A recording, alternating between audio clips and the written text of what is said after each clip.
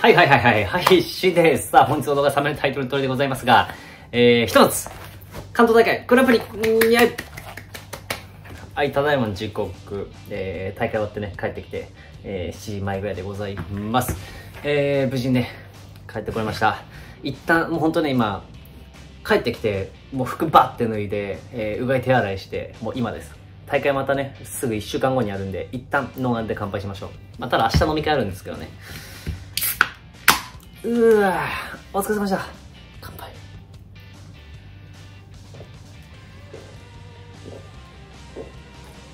ああうめえ。最高。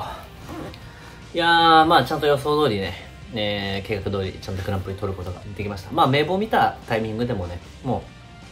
これは自分が過去の成績とかも合わせてもグランプリ取らなくちゃやばいなっていうふうには思ってたので、えー、無事獲得できてよかったなと思っています。はい。で、えー、前回僕がドーナツ食べながら、あの、こんなこと言ってたの覚えてますか？なんか動画、ちょっと流せたら流します。流せなかったらあれなんですけども。あのー、まあちょっとアクシデントがありましたと。で、まあこれを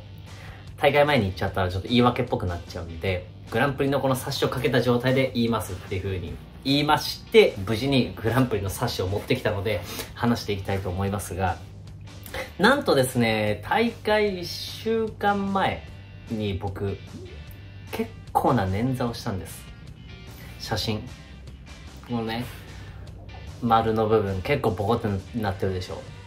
これがね、マジできつくて、足つくだけで本当に痛くてで捻挫しちゃうとやっぱねスクワットとか減量の時って足トレがすごい大事だからこのレッグプレスとかもなかなかできないし単純に歩くことも辛いから足つくのが辛いから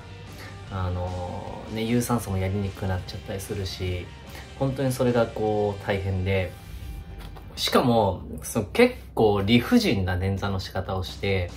この間の土曜日だったかな？何々坂かはわかんないんだけど、あの、なんか、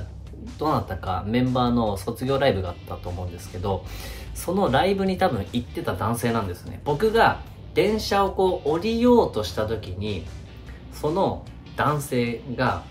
僕が降りようとした他の人を避けたのかな？僕がこう降りようとしました。で、その人が誰かを避けようとしたのか、こうね。だから両方が前、その人は後ろ向きでこ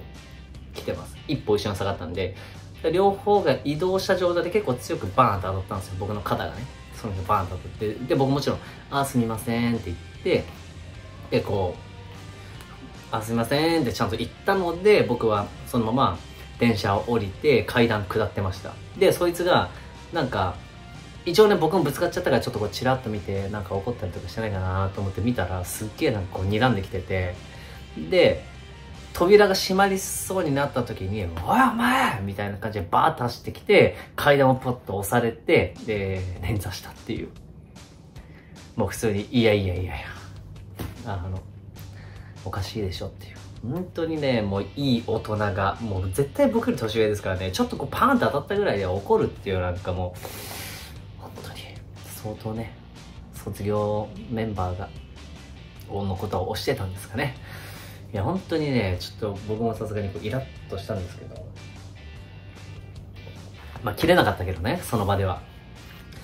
いや、もうすみませんって、こう、お互いがね、こう、本当ね、こう、ぶつかっちゃったのもしょうがないことなんで、うん。ね、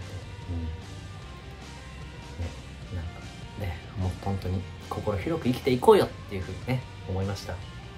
っていう感じでね、あの、本当に結構減量やばくて、うわ、足トレできねえじゃんみたいな感じにね、ちょっとなってたんですけど、あのー、温泉行ったりとか、まあやっぱ僕もパーソナルトレーナーなんで、まあ捻挫のケアとかそういうストレッチとかしっかりやって、えー、まあある程度本当に3日4日ぐらいで回復して、そこからまた追い込んで、えー、絞ることができて、55.6キロっていうね、えー、本日の体重を出して、えー、無事グランプリを取ることができたっていうようなね、感じでございました。まあ、なんで本当にね、あのー、うまく工夫すればできないことって絶対ないと思うんで、何かしらね、えー、まあ、怪我した場合とかでもそうですし、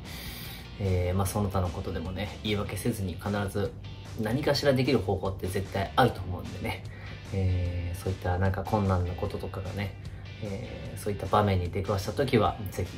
違った角度、違った方向からね、チャレンジしていただければなと思ってこういった動画を撮りました。ということでね、えー、言い訳せずにグランプリしっかり撮ることができてよかったです。また1週間後、水戸大会でグランプリ撮っていきたいと思います。それではご視聴いただきまして、ありがとうございました。グッドボタン、チャンネル登録よろしくお願いします。